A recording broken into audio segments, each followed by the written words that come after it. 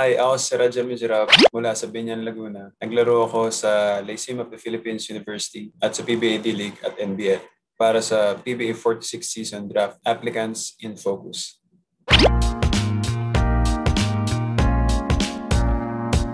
Nagsimula ako mag-basketball nung high school ako around third year, fourth year doon uh, medyo hindi pa talaga ako marunong talaga wala talaga akong idea sa basketball as in nandun lang ako malaki ako pangharang ako sa gitna ganun lang yun nga after tumagal yung yung fourth year high school ko at that at that time medyo tumagal kami sa mga sa mga sinasalihan naming uh, events mabot ka rin kami ng pambansa parang doon habang tumatagal lalo kami natatrain lalo kaming parang yung basics nakukuha ko na rin but para sa height ko hindi siya ganun ka akma. So, yun nga. Um, tumagal, tumagal na tumagal. After ko gumraduate ng fourth year high school, doon ako nag-start mag, maglaro talaga ng basketball na train ako na yung pwede na pang-compete sa mga competitions talaga ng mga, mga liga.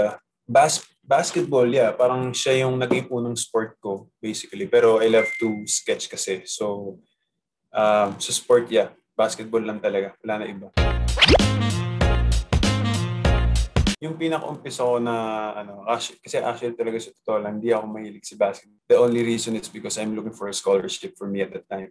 But when I started training, parang nagustuhan ko yung basketball. And then si Coach Jericho Deniera and Romel Adufo, both of them, parang sila yung naging mentor ko at that time. Nung nasa UA ako si Coach Jerry and then nasa LPO ako si Coach Romel. So at that time talaga sila yung parang naging mentor ko.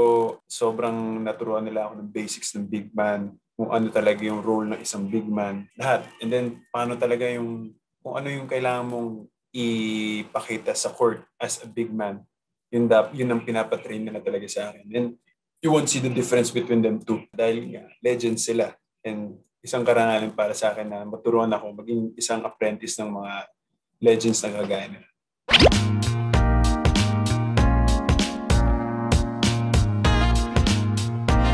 Siguro for me, kasi medyo meron talaga rin akong challenge sa sarili lagi. Na meron mas higit pa sa akin sa court.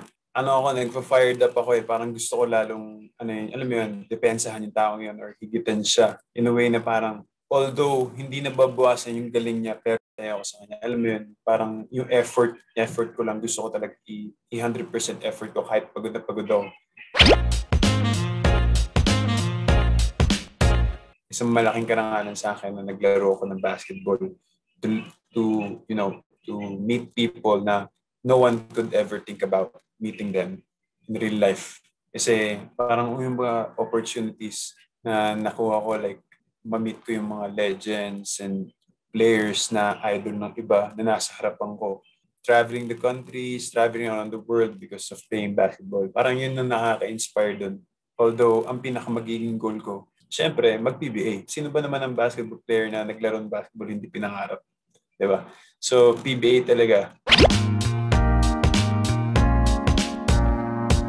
Ngayong taon kasi, wala lang. I feel na parang siguro dahil sa hirap rin ng buhay ngayon. It's pandemic, you know. The primary reason for living in a day is may mabuhay ka sa own means, sa kita mo. You need to earn every day to survive every day. Parang ganun. So, uh, parang yun, inangat na, inangat kami lalo na parang binigyan pa ako ng another ladder to for another window to open parang opportunity. Muli po, ito po si Sir Rajan para sa PBA 46 season draft applicants in focus.